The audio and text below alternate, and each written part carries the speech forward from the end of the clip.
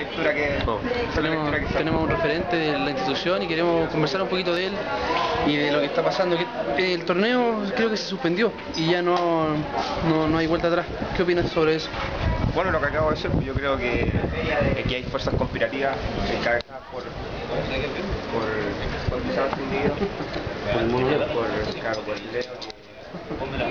el que Resbaloso obtenga su segundo título y así pase a ser uno de los más ganadores de la historia del campeonato de periodismo. Tan simple como eso. Tienen miedo que Resbaloso obtenga su segunda medalla. Hace un tiempo atrás, un torneo pasado, creo que pasó lo mismo. Rebaloso iba puntero y se terminó el torneo en, ese momento.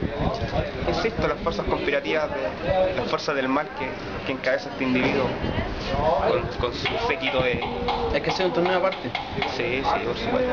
Oye, el otro día conversamos con Douglas y decía, pasando un tema más, más privado, que no había nadie que te compitiera lo- en lo que era el etílico. ¿Es verdad eso, no? Bueno, eso... Que era el referente máximo. No, siempre hay alguien mejor que tú. ¿Pero quién es ese alguien? Aún no nace. Pues, debe estar por ahí. Ahí uno nace. Debe estar por Aún no ahí. nace quizás. Debe estar por ahí.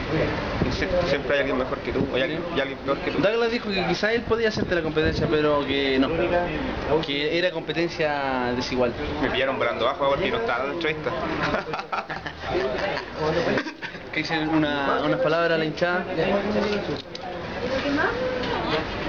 Que, que de- del ánimo a, lo- a los jugadores para que Resbaloso siga los años, eh, que inspiren para que Resbaloso continúe.